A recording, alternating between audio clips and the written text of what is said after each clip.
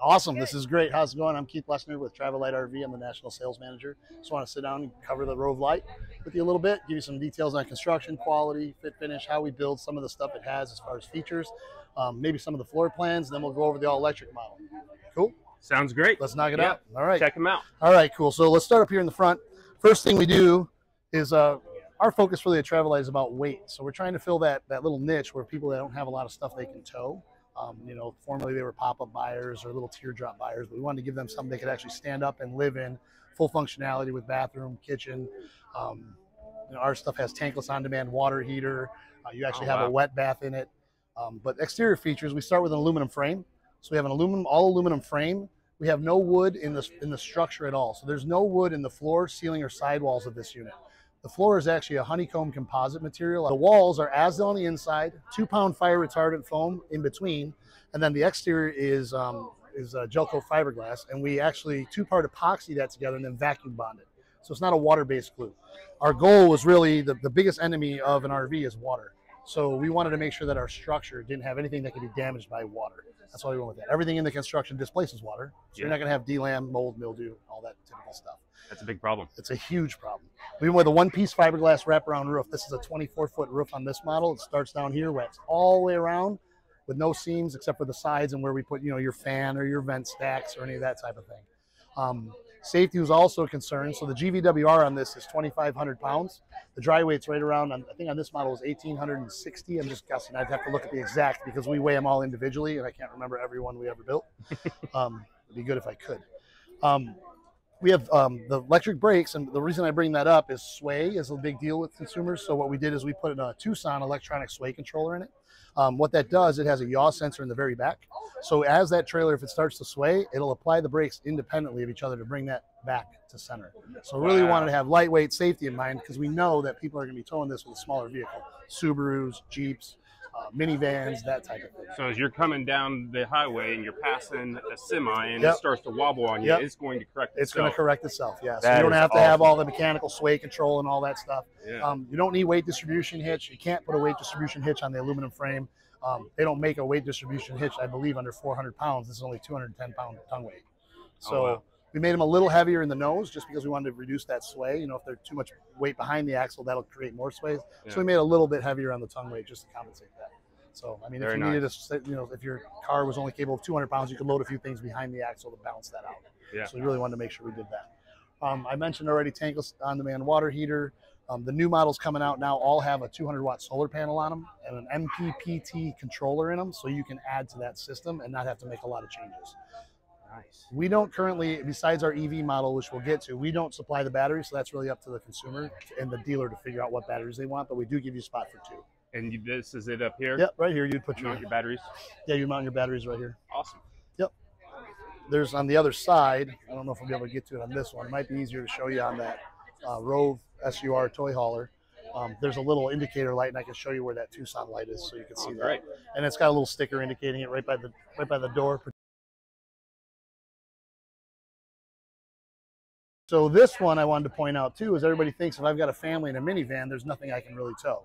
Well, this is a bunkhouse model, so this will sleep four people A bunkhouse. which is pretty rare. So if you step inside, you can see that the dinette will drop down to a bed, and then on the back wall, you're going to see the bunks. That the top bunk is rated for um, 150 pounds.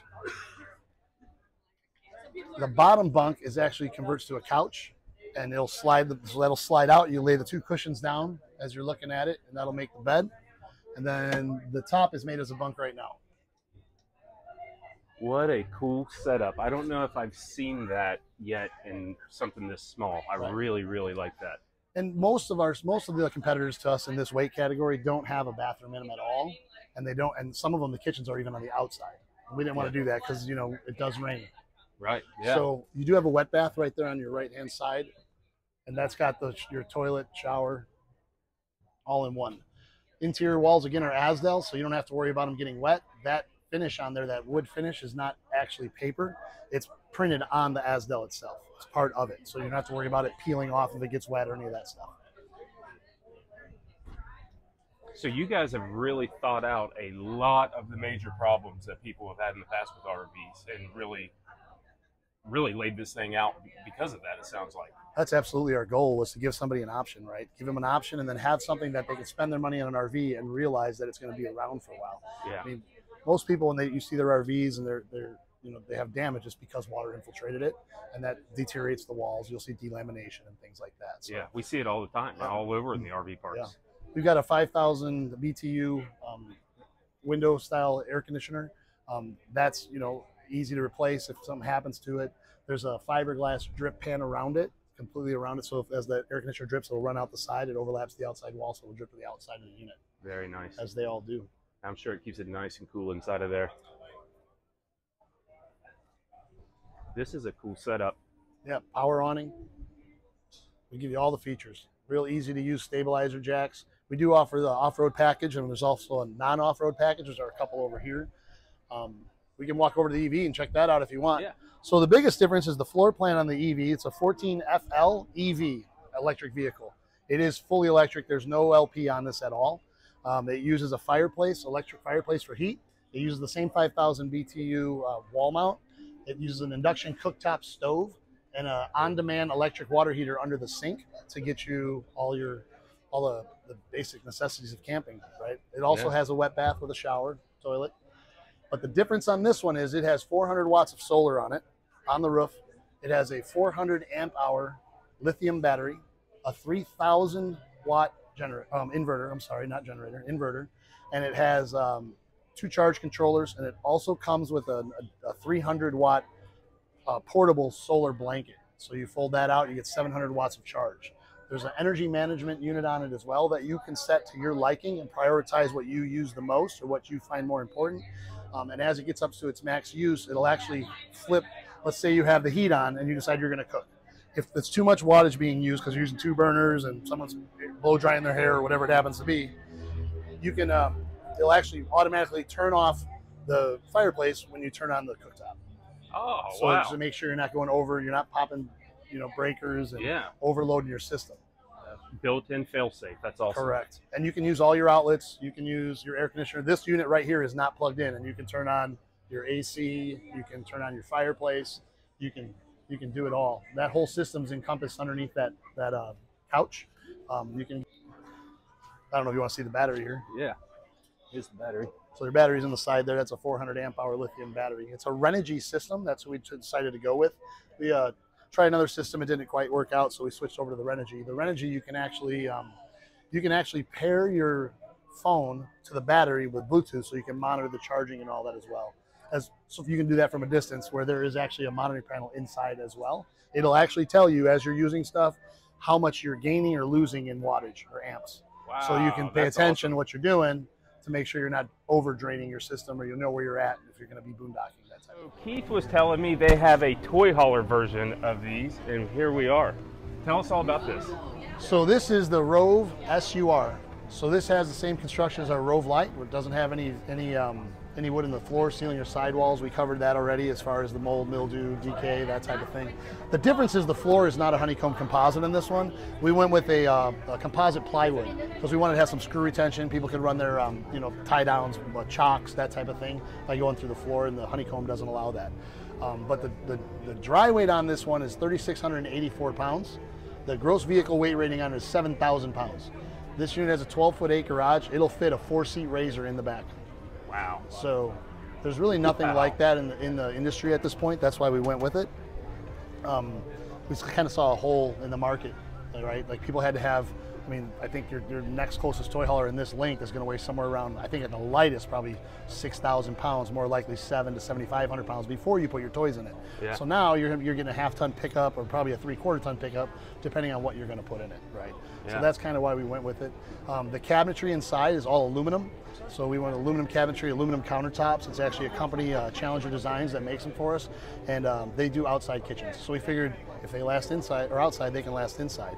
Uh, the whole goal was that people with toys usually tend to get them muddy, bring them in, and that type of stuff. So you could literally pitch this thing up and hose the back end out and let it dry. There's no wood in there to get That besides your cabinetry. There's a couple. The door, I think, in this unit, the only wood is the door and that little piece that holds the bed from sliding out. So as long as you tip it up and shoot the back end out with the water, just let it run. It won't, won't hurt at all. Wow. Yeah, check it out. Check it Very out. Very cool. Yeah, tie downs are in it. Dual system. This also has a Tuson sway control built in. Um, to, to eliminate the sway. Power awning. I mean, rear screen. The bed drops down in the back. It's got a bed down there that turns into a U-shaped dinette as well. So you can use it as a bed or a U-shaped dinette. Patio, the rear patio. Again, this one has a one-piece fiberglass roof as well, so it starts down there. I don't know the footage on this one, but that one starts at the corner, goes all the way up over the top. All right, so walking in, you'll see you've got your fold-out steps. Um, as you come in, you'll notice that all the all the floor, all the uh, walls and ceiling are Azdel. As we talked about a little earlier, it's all aluminum caged, so you have again no wood floor, ceiling, or side walls. The cabinets, aluminum, aluminum countertops, 10 cubic foot fridge.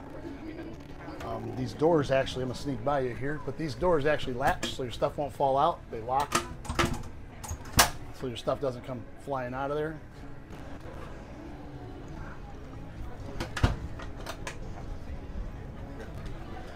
Your rear here, this is your uh, your bed. They have it set up a little goofy, but these cushions would go back here. You lower it down. This is your seating for eating, and then you can fold this, put the table up here, and then put these cushions on top. That also makes for a bed.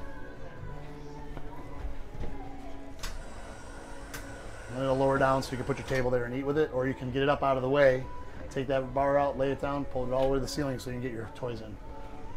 Rear screen with a rear patio. These are just blackout curtains. There's windows here. Just for privacy. Helmet rack, this is your closet storage here. Your hanging storage is right there. And that's your MPPT controller. Deep storage like Mm-hmm. that.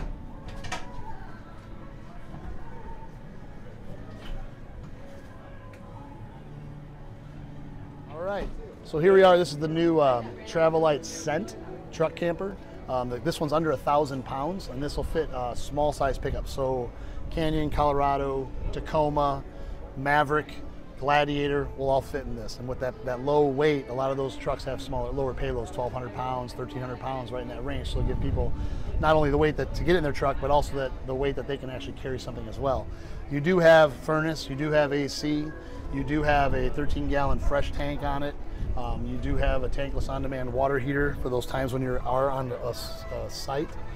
Um, that is actually a that bed kind of pulls out, and then there's a door they didn't close there that just to make it just for aesthetics. That door will close shut, but that'll push in and it'll sit up, so you can use it as a bench as well. Very nice. Again, the construction on this one is um, no wood in the floor, ceiling, or sidewalls. The floor is a honeycomb composite. The sidewalls are um, ex- uh, gel coat, gel coat fiberglass on the outside, Azdel on the inside with two pound fire retardant foam between them. Are these one piece as well? This one's not a one piece. and the reason not. we didn't do one piece is that we couldn't make that radius on the front, and we Oh, also okay. wanted to put another structural support in there. Oh. So when we put the structural support, because this is going to be sticking up over the top of your truck, the wind, we wanted to make sure we had enough strength for you there. That makes sense. And show price only eighteen nine. That is not bad.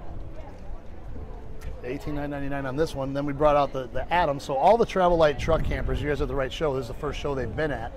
The, all the Travel Lite truck campers have been redesigned. They used to be um, uh, Banac and uh, natural wood structure, and we went away from that. We went to the aluminum structure. So aluminum, and again the the laminated sidewalls with the the Azdel and the fiberglass and two pound fire retardant foam and everything. So we were able to lighten them up.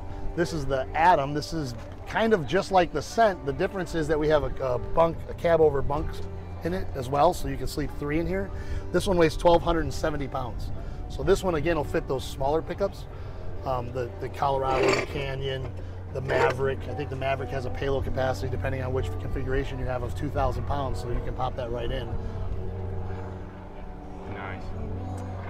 Again, you still have AC, you still have heat, you still have, you, you know, your your water heater, you still have your converter. It's, I mean, it's everything you need to be self-contained. And you don't need a big one ton monster truck to Correct. Now you could put this in a one ton. You Yeah. can get it in there. You might have to shim it up a little to clear the cab, but you can you can shim it Right. to fit it in a bigger one if that's what you want to do. Um, but you don't have to. Correct. For truck camper people, they'll know that we have our tie downs here, but we made a little bit of a change because getting all that tie down stuff is um, sometimes challenging for your vehicle. So we actually added down here an aircraft track. So you can get the tie downs. We don't have them with the units, but you can get the Aircraft track's pretty standard. You just pop it in there, slide it over, and then you can use straps to tie it to the four corner tie downs in your truck itself. So we wanted to give people an option to do that as well. A little more very cool. So this is the Upcountry. So the Upcountry is another redesign of the truck camper. This is going to replace the Super Lite series and the extended stay series of our old product lineup.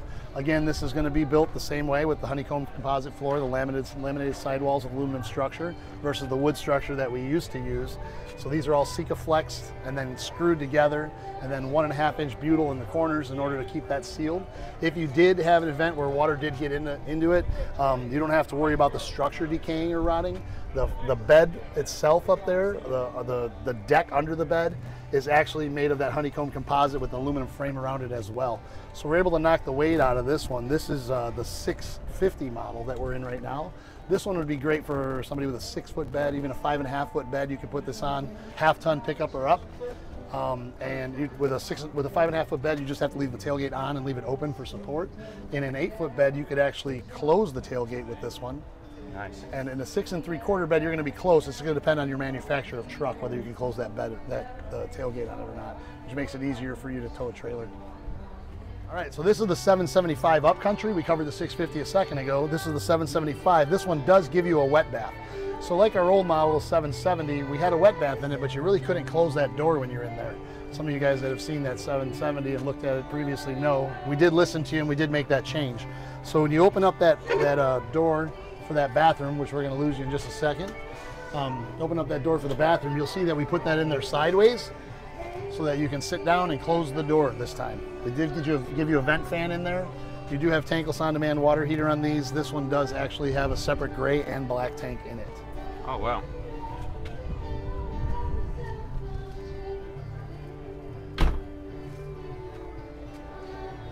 Oh, One- and you have the built-in external gate valves. I love that. Yep, That's external. great. Yeah, absolutely. And then we actually um, made the jacks removable too for those people who are conscious, uh, really conscious about their weight. If you are close on your payload, if you take off the power jacks, you'll save 140 pounds. They're 35 pounds a piece. Oh wow. So um, I'll show you in a second when she gets out. of about that. So we made it so that when once this is off, you literally just take this pin out, and this jack will slide right out. You unplug it, leave it at home. Save yourself 140 pounds.